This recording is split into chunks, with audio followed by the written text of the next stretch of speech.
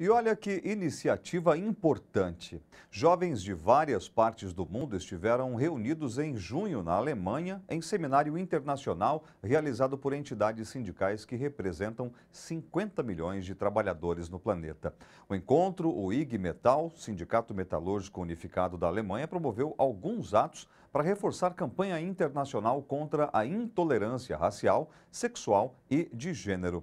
Nada como o mundo do trabalho para reunir culturas diferentes em torno de uma única bandeira. Dá uma olhada. O intercâmbio foi organizado pelo Sindicato dos Metalúrgicos da Alemanha, em parceria com entidades que representam trabalhadores dos setores metalúrgico, químico e têxtil. O encontro reuniu trabalhadores e jovens do movimento sindical do Brasil, Alemanha, Chile, Argentina, Colômbia, Paraguai, Uruguai, Nicarágua e Peru.